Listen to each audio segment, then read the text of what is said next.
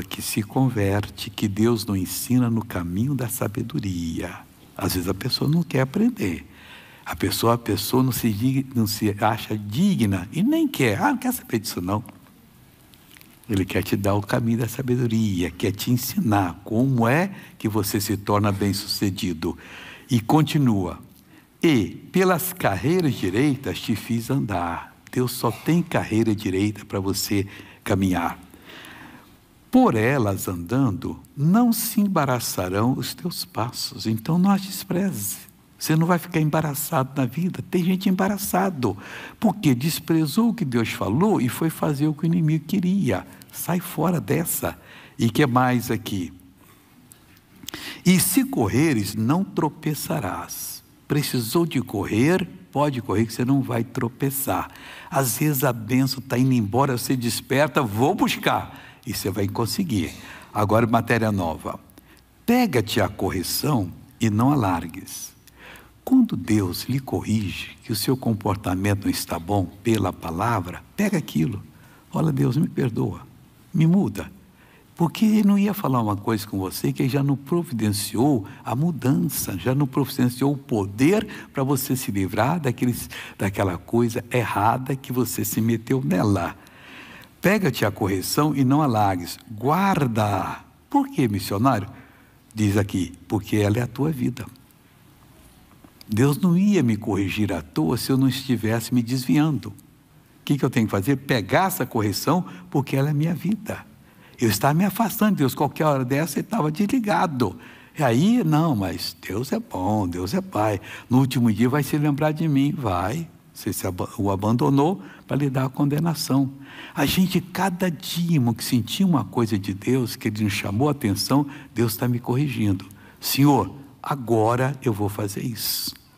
Eu era, eu sou de Jesus desde seis anos. Eu era rapazinho na minha igreja no Rio de Janeiro. Eu sou capixaba, mas fui mudar pra, mudei para lá aos 16. Nós estávamos conversando no escritório do pastor, uma senhora que é secretária dele, mais dois rapazes. E eu era de Bíblia mesmo, né? Aí, na minha terra tem um costume, quando mata porco, fazer um chouriço com sangue do porco. Faz com erva doce. Eu fui desmamado com isso e gostava. Mas a Bíblia condena comer sangue, não fazer transfusão. Mas ela condena. Não sei se é toda doença está no sangue, por isso que o médico manda fazer exame de sangue para ver. Eu não sei se é por causa disso. Eu sei que estavam conversando e surgiu essa ideia. Eu fiz, ah, não. Negócio de choro. Essa, esse fanatismo aí que não pode comer é, um chouriço, vocês estão enganados, você não sabe o que é um chouriço.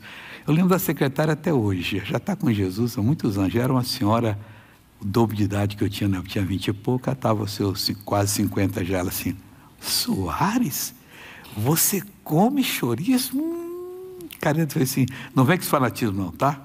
Ela falou, se você quer na Bíblia, principalmente no Novo Testamento, então abra, por favor. Atos 15, 28 e 29. Ficaram quatro coisas que nós temos que evitar. Aí uma delas é o sangue. Quando ela falou, eu li, e aí Soares, Senhor Deus, perdoa-me, não vou comer mais. Na hora, eu vou brigar com Deus se Ele falou. Depois você lê os, as quatro coisas que nós temos que observar. Então ele está dizendo aqui, olha, é, pega-te a correção. Na hora deu, não alargues. Irmão, nunca mais eu quis comer. Voltei na minha terra, tem um choricinho bom aí. Falei, não, a Bíblia proíbe, eu não vou comer não. Oh, mas por quê? Está escrito aqui. Aí saí fora.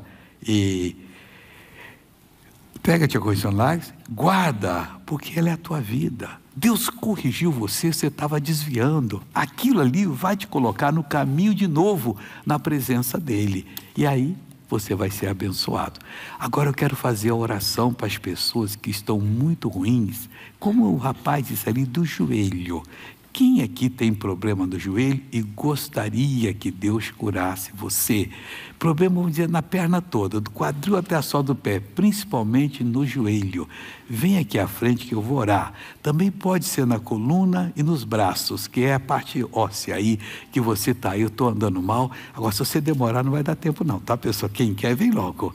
Que eu já vi que esse negócio de ficar insistindo com a pessoa, depois não tem nada de cura. A pessoa não quer, depois ela vem para tentar. Aqui não tem nada de tentar, aqui vem para receber. É isso que eu quero que você venha. Você em casa se aproxime do televisor aí da sua casa, está na mídia social, fica de frente desse, desse celular seu ou do computador, que Deus vai abençoar você.